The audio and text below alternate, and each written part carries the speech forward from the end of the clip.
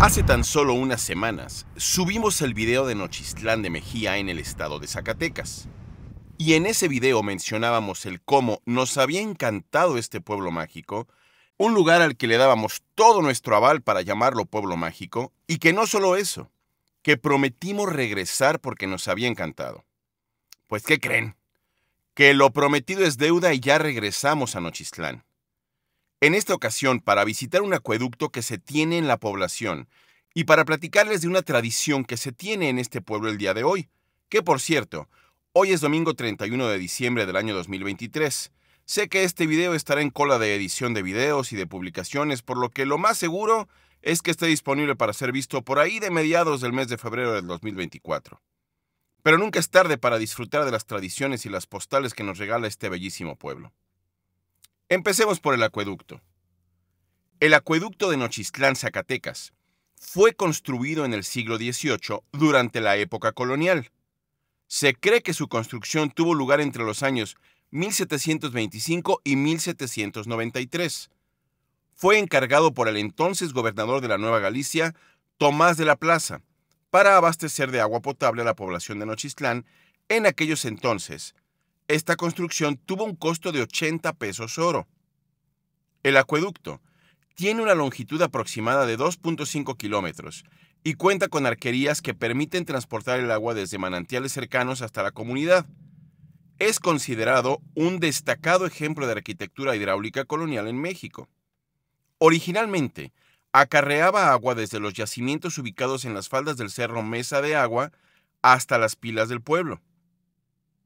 El sistema lo componían dos pilas que habían en el jardín y una fuente octagonal en el centro del mismo, lugar que contaba además con otras dos pilas llamadas pila azul y pila colorada, además de la pila de afuera, que se encontraba en los límites en que comenzaba el barrio de San Sebastián.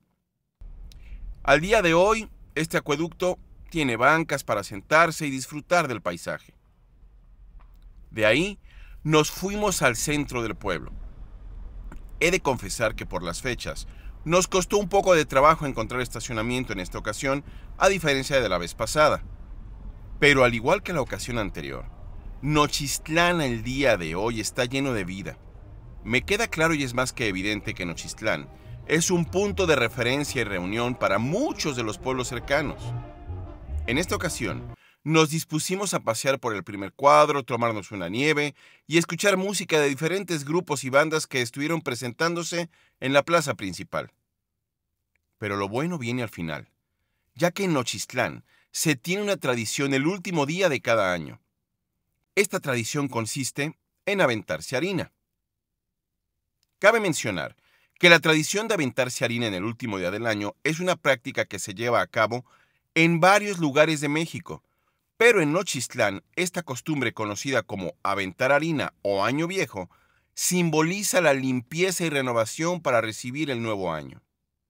Las personas suelen arrojarse harina entre sí como parte de la celebración, compartiendo risas y buenos deseos. Es una forma festiva y alegre de despedir el año viejo y dar la bienvenida al año nuevo.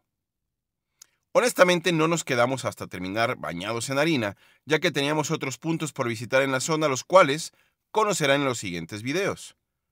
Pero por lo pronto lo que sí les puedo decir es que nuevamente Nochistlán me sigue pareciendo un pueblo encantador, muy cercano a Guadalajara y aparte, muy cercano a muchos otros pueblos y municipios de la zona, lo que lo hacen tener esta vida que nos ha demostrado en las dos visitas que hemos dado a este pueblo. Por lo pronto, y como ya es costumbre, sigamos recorriendo el mundo.